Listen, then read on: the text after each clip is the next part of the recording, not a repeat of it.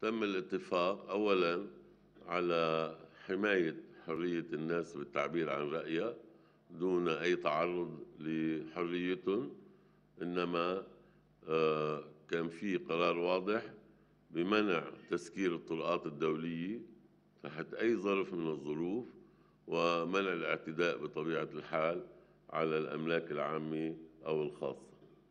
إنما برجع بأكد إنه حرية الرأي, حرية الرأي وحرية التعبير مصاني وما في حدا رح يتعرض لهم عندهم قدرة يعبروا بكل مكان هن موجودين فيه أو بكل مكان هن حيتجمعوا فيه.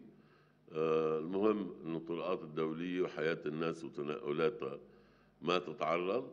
اللي بده يتنقل يتنقل. الأمر الثاني إنه حماية الأملاك العامة والخاصة وما